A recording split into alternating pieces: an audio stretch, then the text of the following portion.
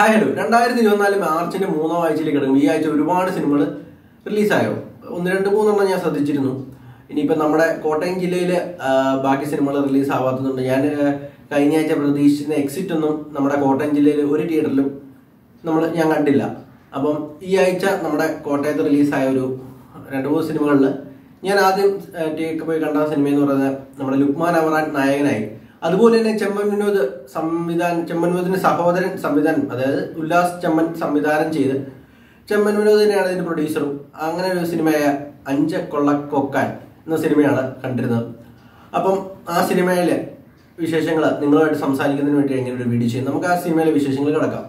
സിനിമയെ കുറിച്ച് പറയുവാണെങ്കിൽ അതിൽ എടുത്തു പറയേണ്ടത് പെർഫോമൻസ് പറയണം നമ്മൾ അതിലെ ബി ജി എമ്മിനെ കുറിച്ച് പറയണം വിഷ്വൽസിനെ കുറിച്ച് പറയണം അതുപോലെ നമ്മൾ അതിന്റെ ആക്ഷൻ രംഗങ്ങളെ കുറിച്ച് എടുത്തു പറയണം.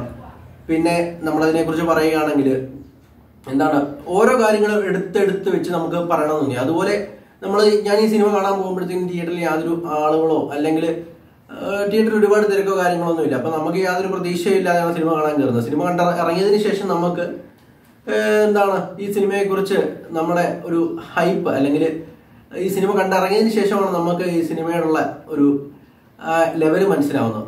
അപ്പോൾ ഈ സിനിമ ഞാൻ പറഞ്ഞ പോലെ പെർഫോമൻസ് ഓരോ ഓരോ നമ്മുടെ സാധനങ്ങൾ എടുത്തെടുത്ത് പെർഫോമൻസ് നോക്കുവാണെങ്കിൽ ലുക്മാൻ അബറാന്റെയും ചെമ്മൻ വിനോദിന്റെയും ഒക്കെ നല്ല ഗംഭീര പെർഫോമൻസ് പെർഫോമൻസ് തന്നെയാണെങ്കിൽ ഈ സിനിമയിൽ ആദ്യം മുതൽ അവസാനം വരെ കാഴ്ചിട്ടുള്ളത് പിന്നെ ഈ സിനിമയിലെ പ്ലോട്ട് എന്ന് പറയുമ്പം ആദ്യ തുടക്കത്തിൽ മാക്സിമം ഈ സിനിമ ഫസ്റ്റ് തന്നെ ഫസ്റ്റ് ഭാഗം തൊട്ട് തന്നെ കാണാൻ ശ്രമിക്കാറ്. ആയുധ ആദ്യത്തെ ഭാഗങ്ങളിലായിരിക്കും തങ്കമണിയിൽ നിന്നും തങ്കമണി വിഷയം പറഞ്ഞുകൊണ്ടാണ് ഈ സിനിമ തുടങ്ങുന്നത് തന്നെ. പിന്നീട് കഥ വേറെ രീതിയിലേക്കൊക്കെ പോകുന്നുണ്ട്.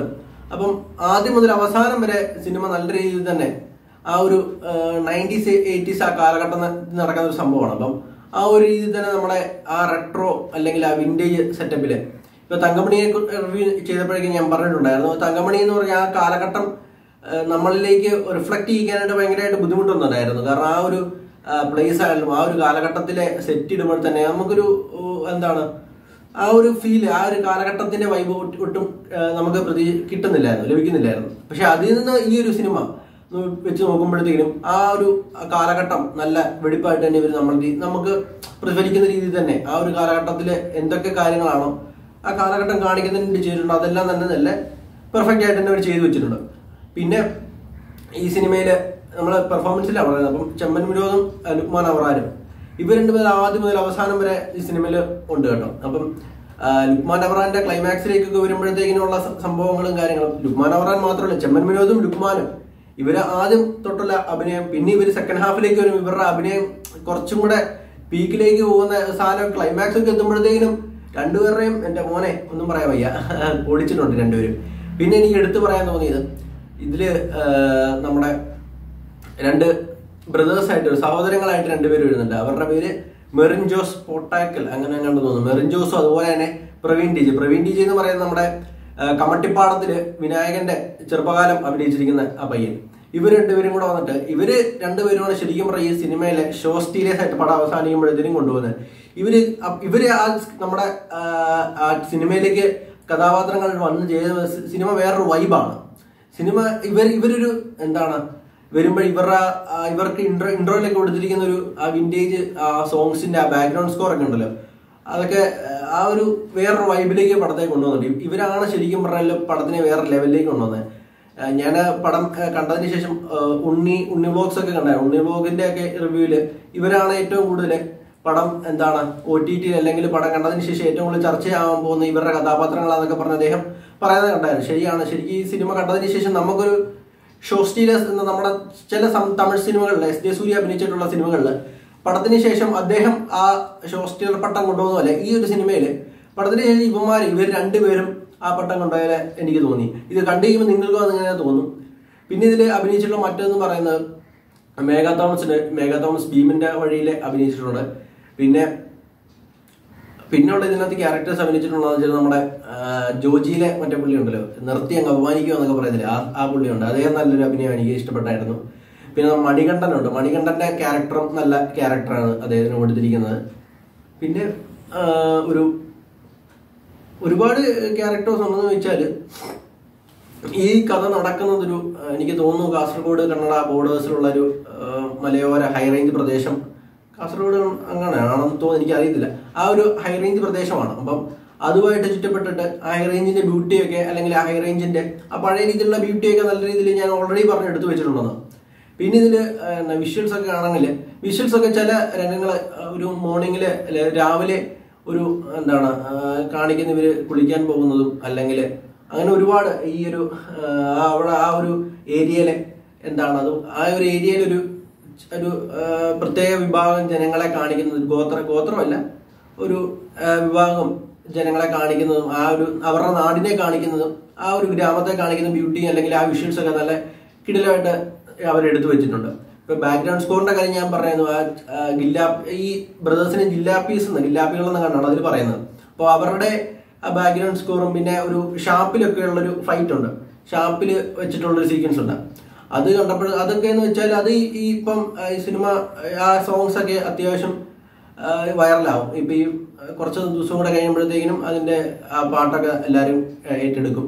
ആ രീതിയിലാണ് പിന്നെ ഫൈറ്റ് ആണെങ്കിൽ തന്നെ ഫൈറ്റ് സീക്വൻസ് ഒക്കെ എനിക്ക് വളരെയധികം ഇഷ്ടപ്പെട്ടായിരുന്നു. അതായത് ഈ ഷാപ്പിലെ ഒരു ഫൈറ്റ് സീക്വൻസ് ഉണ്ട്. അതുപോലെ തന്നെ ക്ലൈമാക്സിലേക്ക് വരുമ്പോഴത്തേക്കിനുള്ള സാധനങ്ങളൊക്കെ പറഞ്ഞാൽ ക്ലൈമാക്സ് എന്നൊക്കെ പറഞ്ഞു കഴിഞ്ഞാൽ അടി ഇടി വെടി പുക എന്നൊക്കെ പറഞ്ഞ രീതിയിലൊക്കെ എടുത്തു വെച്ചിരിക്കുന്നത്. വളരെ ഈ ഒരു രണ്ടായിരത്തി ഇരുപത്തിനാല് നമ്മളിങ്ങനെ ഒരു ആക്ഷൻ പാക്ഡ് ആയിട്ടുള്ളൊരു പടം നമ്മൾ കണ്ടിട്ടില്ല. കാരണം ഈ അടുത്ത് വന്നിട്ട് എല്ലാം തന്നെ ആക്ഷൻ ഒരു എന്നാ ഇപ്പം ഓസ്ലർ ആണെങ്കിൽ തന്നെ ഓസ്ലറും അതുപോലെ തന്നെ മലിക്കോട്ട വാലിബൻ മലിക്കോട്ട വാലിബൻ അദ്ദേഹം അത് ഫ്ലോപ്പ് ആയി പോയി. ഓസ്ലർ നോക്കുക അതൊരു ഇമോഷണൽ ഡ്രാമ നമ്മുടെ ബ്രഹ്മയുഗം നോക്കുവാണെങ്കിൽ ഒരു മിസ്റ്ററി ബേസ്ഡ് ആയിട്ടുള്ളത്. പിന്നെ പ്രേമിൽ റൊമാന്റിക് കോമഡി പിന്നെ അന്വേഷിപ്പിനാണെങ്കിൽ അതൊരു ഇൻവെസ്റ്റിഗേഷൻ ഡ്രാമ മോഡലാണ് അതിലും കൂടുതൽ എന്താണ് ആക്ഷൻ കാര്യങ്ങളൊന്നുമില്ല. പിന്നെ മഞ്ഞുമൽ ബോയ്സ് ആണെങ്കിൽ അതൊരു ഇമോഷണൽ ഡ്രാമ തന്നെയാണ്. അപ്പം അതിൽ നിന്നും ഒരു വ്യത്യസ്തമായിട്ടൊരു ആക്ഷൻ പാക്കഡ് നമ്മൾ ഒട്ടും പ്രതീക്ഷിക്കാതെ പോയി കണ്ട് അതായത് യാതൊരു ഹൈപ്പും ഇല്ലാതെ പോയി കണ്ട നമ്മുടെ ഒരു എന്താണ് നമ്മളെ അത് അനുഭവിച്ചറിയുന്ന ഒരു ഫീൽ ഉണ്ടല്ലോ. അത് നമുക്ക് ഒട്ടും പറഞ്ഞറിയിക്കാൻ പറ്റുന്നില്ല. പിന്നെ ഇതിൽ നമ്മൾ പറയേണ്ടതെന്ന് വെച്ചാൽ ആക്ഷൻസിനെ കുറിച്ച് നമ്മൾ പറഞ്ഞല്ലോ. ക്ലൈമാക്സിലേക്കൊക്കെ വരുമ്പോഴത്തേക്കുള്ള ആക്ഷൻ എന്നൊക്കെ പറഞ്ഞാൽ എന്താണ് എനിക്ക് ചില ഈ ഒരു ഇതൊരു എക്സ്പെരിമെന്റൽ സിനിമ തന്നെയാണ്. അപ്പം ഇതൊരു ഒരു കാന്താര അല്ലെങ്കിൽ തെലുങ്കിൽ ഈ അടുത്തൊരു പടം ഇറങ്ങിയിട്ടുണ്ടായിരുന്നു.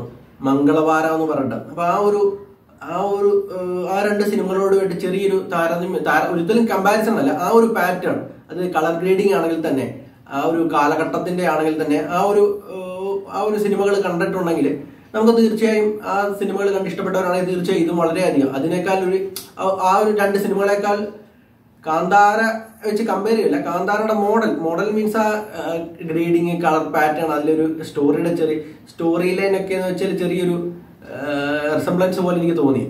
അപ്പം ബാക്കിയുള്ളവർക്ക് കണ്ടവർക്ക് എങ്ങനെയാ ഫീൽ ചെയ്തെന്ന് അറിയത്തില്ല. അപ്പം ഇത് ടോട്ടലി ഈ സിനിമയെ കുറിച്ച് പറയുകയാണെങ്കിൽ ഒരു തിയേറ്റർ മസ്റ്റ് വാച്ച് തന്നെയാണ്. തിയേറ്റർ എക്സ്പീരിയൻസ് ആണ്. ക്ലൈമാക്സും അതുപോലെ തന്നെ ഇന്റർവെൽ പഞ്ച് എന്നൊക്കെ പറയുന്ന സാധനങ്ങൾ അതൊക്കെ തിയേറ്ററിൽ തന്നെ ആ ഒരു നമ്മൾ എക്സ്പീരിയൻസ് ഫീൽ ചെയ്ത് എക്സ്പീരിയൻസ് ഫീൽ ചെയ്യേണ്ടത് തന്നെയാണ്. അപ്പം നമുക്ക് ഇത് ഒ ടി ടിയിൽ അല്ലെങ്കിൽ ഫോണിൽ പിന്നീട് കണ്ടു കഴിഞ്ഞാൽ ആ ഒരു വൈബ് നമുക്ക് ഇഷ്ടപ്പെടുന്നു ഈ പെട്ടെന്ന് പടം ഒരു പ്രത്യേക വൈബാണ് നമുക്ക് ക്രിയേറ്റ് ചെയ്യുന്നത്. എനിക്ക് ആദ്യം കണ്ടപ്പോൾ ഞാൻ എന്താണ് ആദ്യമായിട്ട് പ്രതീക്ഷയില്ലാതെ പോയി കണ്ട നമുക്ക് ആ ഒരു ഇത് ഇല്ലല്ലോ. അതിന്റെ ഒരു നല്ലൊരു എക്സൈറ്റ്മെന്റ് എനിക്ക് ഇപ്പോഴും ഉണ്ട് കേട്ടോ. അപ്പം തീർച്ചയായും കണ്ടിട്ടില്ലെങ്കിൽ നിങ്ങൾ തിയേറ്ററിൽ തന്നെ പോയി കാണുക. അത് അമ്മാതിരി ഒരു സിനിമയാണ് അവർ നമുക്ക് വേണ്ടി ഒരു വിഷ്വൽ വിഷ്വൽ ട്രീറ്റ് എന്നൊക്കെ പറയാം. വിഷ്വൽ ട്രീറ്റ് അല്ലെങ്കിൽ വിഷ്വൽ എക്സ്പീരിയൻസ് അല്ലെങ്കിൽ ആ സൗണ്ട് വെച്ചെല്ലാം നമുക്ക് തിയേറ്ററിൽ തന്നെ എക്സ്പീരിയൻസ് ചെയ്യാനുള്ള സംഭവമാണ് അവർ എടുത്തു വെച്ചിരിക്കുന്നത്. യാതൊരു പ്രൊമോഷനോ കാര്യങ്ങളോ നമ്മൾ ഞാൻ സോഷ്യൽ മീഡിയ കണ്ടിട്ടില്ല. അതെന്താണ് എനിക്കറിയില്ല. പക്ഷേ നമ്മുടെ ഇതൊരു മൊബത്ത് പബ്ലിസിറ്റിയോട് കൂടി ഇത് പടം വിജയത്തിലേക്ക് പോകും. അത്യാവശ്യം ആളുകൾ കാണാൻ കാണാൻ കയറട്ടെ കാണാൻ എല്ലാവരും കണ്ടിരിക്കേണ്ട ഒരു ഇപ്പൊ ഈ രണ്ടായിരത്തി ഇരുപത്തിനാല് രണ്ടായിരത്തി ഇരുപത്തി മൂന്നിൽ വെച്ച് നോക്കുവാണെങ്കിൽ രണ്ടായിരത്തി ഇരുപത്തി മൂന്നിൽ ഇരുന്നൂറ് പത്തിരുന്നൂറ് ഇരുന്നൂറ്റി മുപ്പത് പടങ്ങൾ നമുക്കൊരു ഏഴോ എട്ടോ പത്തോ മാക്സിമം പതിനഞ്ചിൽ താഴെ സിനിമകളെ നമുക്ക് വിജയിച്ചുള്ളൂ. പക്ഷേ ഇതിന്റെ രണ്ടായിരത്തി ഇരുപത്തിനാലിന്റെ തുടക്കം തന്നെ നല്ല നല്ല മികച്ച സിനിമകളാണ് ഇറങ്ങുന്നത്. അപ്പം ഇനിയും ഒരുപാട് സിനിമകൾ വരാനുണ്ട് നമുക്ക് അതിന്റെ എല്ലാ വിശേഷങ്ങൾ കുറിച്ചൊക്കെ വീഡിയോ ചെയ്യാം.